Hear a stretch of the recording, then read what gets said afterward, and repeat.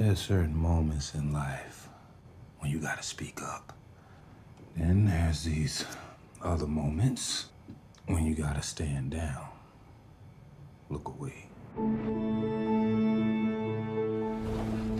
Ever since Dad left us, I keep having these dreams. Where are your parents? Mom is on a holiday.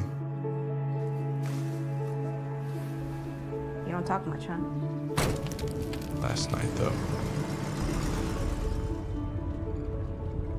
something strange happened.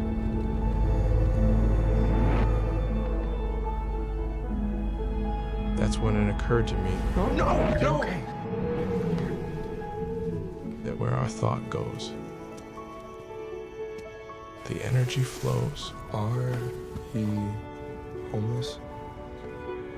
No, no, we. I mean, we have this. We have each other. So, you know, we're kind of rich.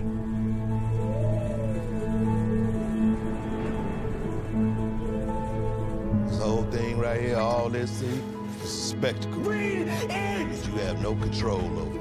Read it! The one thing you do have the power to control is yourself. When you care about the people that you love. Sometimes when I look at the night sky, I think about how small we like to make ourselves. But I guess that's just a way of looking at things. Like, I'd much rather believe we're hovering high above it all.